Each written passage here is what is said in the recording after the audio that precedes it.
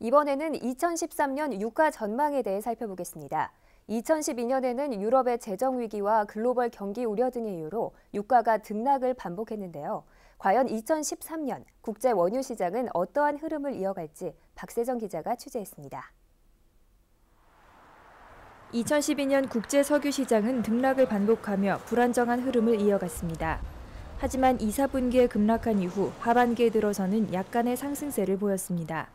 세계 경제의 지속적인 부진과 실물 수요의 둔화 때문입니다.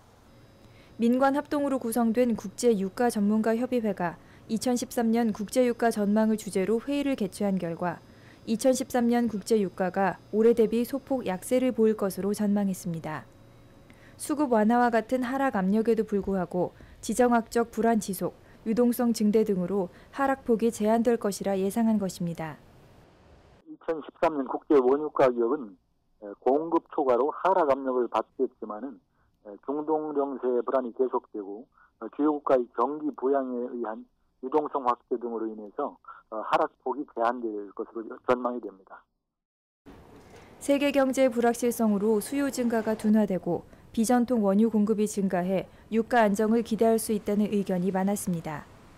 반면 중동의 정세 불안이 지속되고 경기 부양책 실시로 인한 시중 유동성이 상품 시장으로 유입돼 유가 상승을 견인할 수 있다는 의견도 있었습니다. 이를 바탕으로 2013년 국제 유가는 두바이유 기준 연평균 배럴당 100에서 110달러로 올해보다 소폭 하향 안정을 보일 것으로 예상됩니다. 다만 전문가들은 지정학적 불안으로 중동 원유 공급 차질이 발생하거나 경제적인 충격이 발생하는 경우 유가가 급 등락할 가능성도 배제할 수 없다고 밝혔습니다. 산업뉴스 박세정입니다.